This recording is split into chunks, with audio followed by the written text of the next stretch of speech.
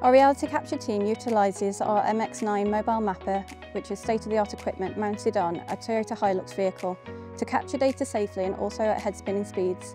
The data is then modelled by our experts and sent back to project teams to utilise for design and construction purposes. Our experienced topographical surveyors carry out basic and complex topographical surveys by using top-of-the-range total stations.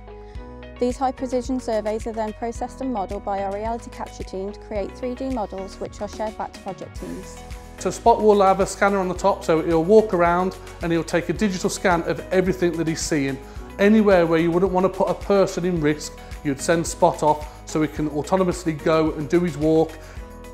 So in ATS we use drones for a number of reasons, primarily uh, mapping services, topographic services, inspection work, progress work on sites, it's the ideal platform for viewing the project from above. You get a really good sense of perspective and, and a sense of the overall size of the projects that we work on.